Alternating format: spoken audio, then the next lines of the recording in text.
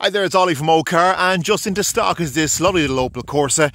It's a 2010 plate, uh, 1.3 diesel, and uh, one owner vehicle. Full service history, full main dealer service history actually, very comprehensive. Huge printout and stamped up book as well.